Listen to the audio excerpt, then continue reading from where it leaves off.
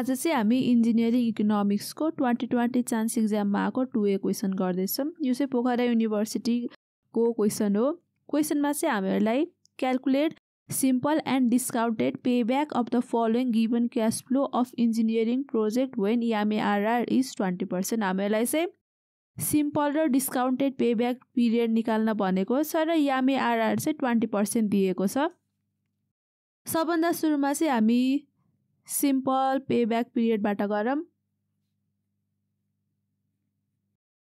Simple pay back र हामीहरूलाई क्वेसनमा चाहिँ एन्ड अफ इयर र नेट क्यास फ्लो दिएको छ। एन्ड अफ इयर चाहिँ जिरोदेखि फाइभसम्म र नेट क्यास फ्लो पनि दिएको छ। र सबभन्दा सुरुमा यो दुइटा दिइसकेपछि चाहिँ हामीहरूले यसको कुमुलेटिभ निकाल्नुपर्छ। कुमुलेटिभ र जिरो इयरको जस्ताको त्यस्तै जे छ त्यही नै राख्नुपर्छ ट्वेन्टी फाइभ थाउजन्ड। र त्यसपछि हामीहरूले आएको ट्वेन्टी फाइभ थाउजन्डलाई एट हन्ड्रेडसँग प्लस गर्नुपर्छ। Minus twenty five thousand plus eight thousand.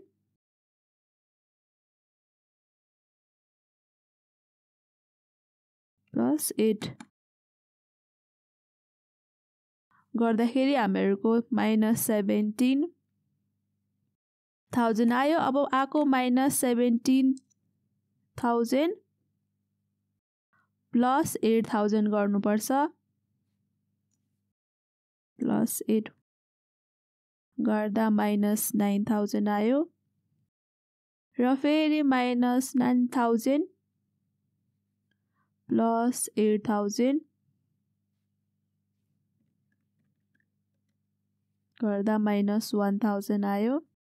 हामीहरूले चाहिँ अर्डर वाइज एडिसन गर्दै सम गर्दै लेख्नुपर्छ।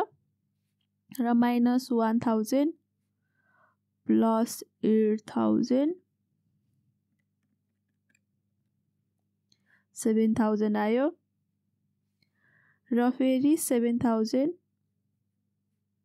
plus thirteen thousand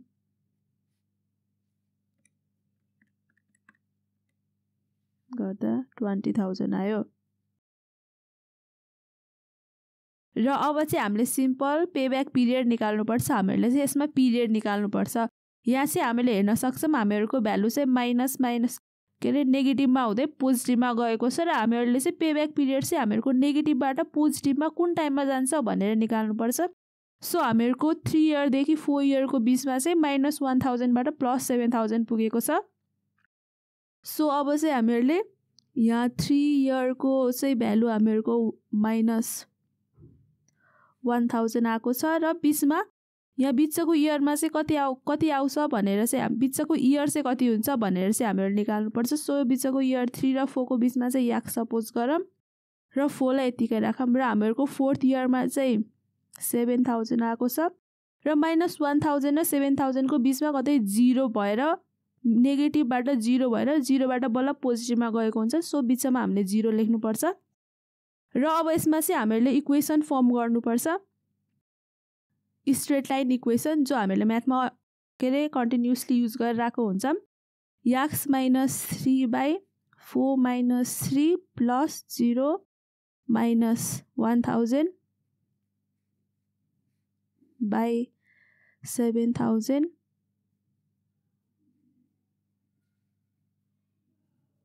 minus one thousand र अब यो इक्वेसन क्यालकुलेटरमा सब्सटिट्युट गरेर हामीहरूले यहाँबाट चाहिँ याक्सको भ्यालु निकाल्नुपर्छ।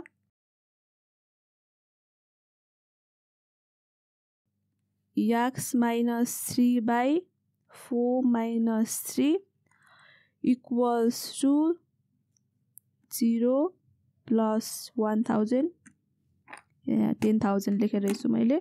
वान थाउजन्ड हो।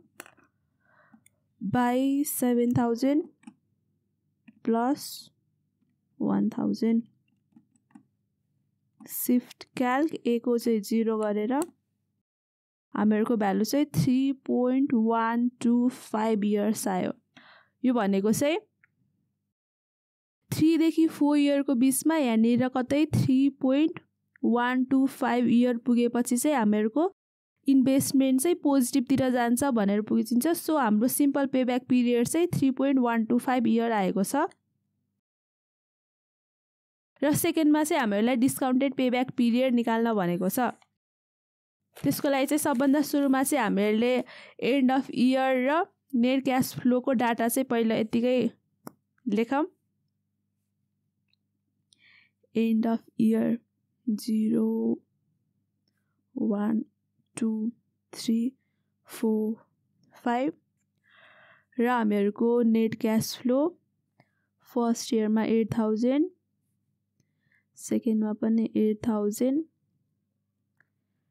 eight thousand eight thousand र थर्टिन थाउजन्ड अब यसपछि चाहिँ हामीले नेट क्यास फ्लो भनेको चाहिँ हामीहरूको यो फ्युचर एमाउन्ट हो। त्यही भएर यसलाई हामीहरूले चाहिँ प्रिजेन्टमा कन्भर्ट गर्नुपर्छ। र हामीहरूले डिस्काउन्टेड पे ब्याक निकालिरहेको भएर यहाँनिर चाहिँ डिस्काउन्टेड पे ब्याक लेखौँ। हामीहरूको चाहिँ फ्युचरको र प्रिजेन्टको सिङ्गल क्यास फ्लोको फर्मुला चाहिँ future equals to present one plus आईको power n हो। हामीहरूको दिएको एमाउन्ट चाहिँ फ्युचरमा छ र हामीलाई प्रिजेन्ट एमाउन्ट चाहिएको छ। सो हामीहरूले चाहिँ present equals to future one plus आईको power यान फर्मुला यो फर्मुला युज गर्नुपर्छ। सबभन्दा सुरुमा जिरो इयरमा कुनै पनि हामीहरूको डिस्काउन्टेड पेब्याक हुँदैन सो हामीहरूको भ्यालु चाहिँ जे छ त्यही राख्नुपर्छ।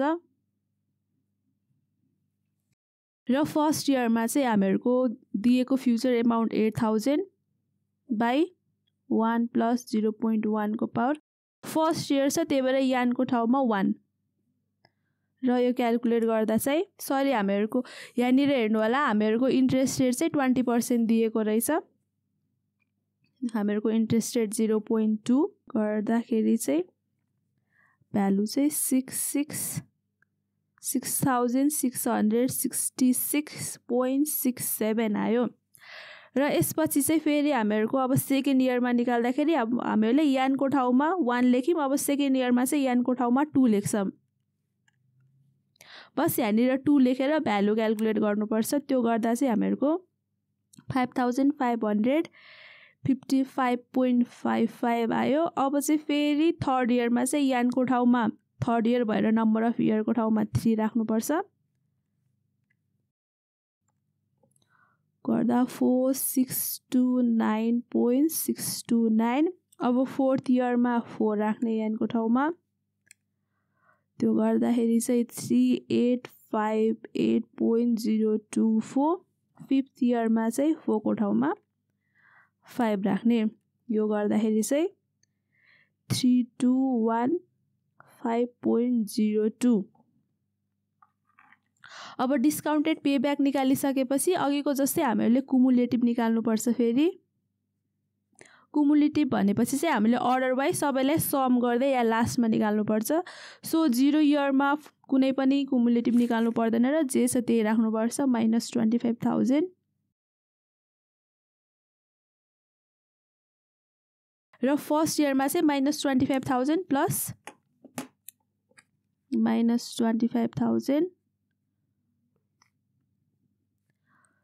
plus six thousand six hundred sixty six point six seven गर्नुपर्छ। त्यो गर्दाखेरि चाहिँ minus twenty five thousand plus six thousand six hundred sixty six point six seven गर्दा minus eighteen thousand three hundred thirty three point three three आयो।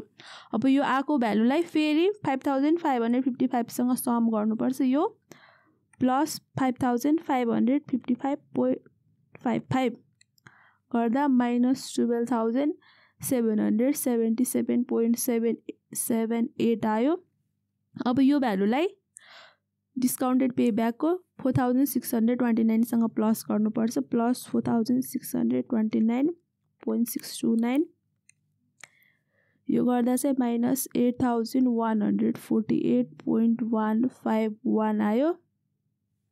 अब यो value फेरि योसँग प्लस गर्नु पऱ्यो plus three thousand eight hundred fifty eight point zero two four. Simple payback पिरियडमा चाहिँ थ्रीदेखि four इयरको बिचमा माइनसदेखि प्लसमा आएको भएर हामीहरूले यसको पेब्याक पिरियड निकाल्न सक्यौँ। हामीहरूलाई हाम्रो प्रोजेक्टले काम गरेर हामीहरूले कति इयर पछि पेब्याक गर्छ भनेर यसमा त हामीहरूले निकाल्यौँ। सो आजलाई यति नै। थ्याङ्क यू सो केही कन्फ्युजन भयो भने तल कमेन्ट गर्नु होला र हाम्रो च्यानललाई लाइक र सब्सक्राइब गर्न नबिर्सिनु होला थ्याङ्क यू